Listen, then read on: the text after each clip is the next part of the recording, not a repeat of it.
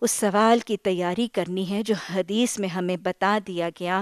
آپ صلی اللہ علیہ وسلم نے فرمایا، اللہ سبحانہ تعالیٰ فرماتے ہیں کہ قیامت کے دن میں اپنے بندے سے پوچھوں گا، اے ابن آدم، میں بھوکا تھا۔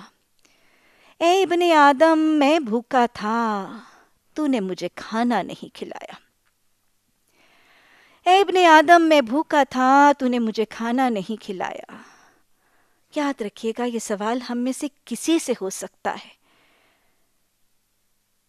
بندہ کہے گا، اللہ تو کیسے بھوکا تھا؟ اللہ سبحانہ تعالیٰ فرمائیں گے، ابن آدم، میرا فلاں بندہ بھوکا تھا، اگر تو اسے کھلاتا تو تو مجھے وہاں پاتا۔ ہم میں سے ایک ایک سے جن کی تجوریاں بھری ہیں گروسریز کے ساتھ جن کی الماریاں اور کیبنٹس بھری ہیں، کھانوں اور فروزن فوڈز اور ککڈ فوڈز کے ساتھ جن کے فریج اور فریزر بھرے پڑے ہیں، جن کے داستان، جن کے دسترخوان بچھے پڑے ہیں۔ ہم سب سے این ممکن ہے یہ سوال ہو، میں بھوکا تھا اور تو نے مجھے کھانا نہیں کھلایا۔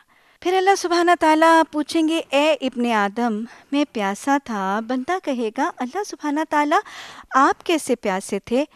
تو اللہ فرمائیں گے ابن آدم، میرا فلاں بندہ پیاسا تھا، اگر تو اسے پلاتا۔ تو مجھے وہاں پاتا۔ اللہ سبحانہ تعالیٰ فرمائیں گے، ابن آدم میں بیمار تھا، تو میری عیادت کو نہ آیا۔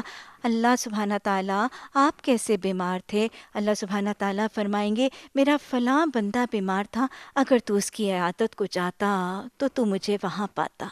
عیادت کو جانے والے، عیادت کرنے والے بیماروں کو دواؤں کے دواؤں کے لیے مال، ان کی معاونت فراہم کرنے والے وہاں جا کر اللہ کی رحمتوں کو، اللہ کی برکتوں کو، اللہ کی رضا کو، اللہ کی خوشنودی کو اور اللہ کی جنت کو سمیٹنے والے خوش نصیب بن جاتے ہیں۔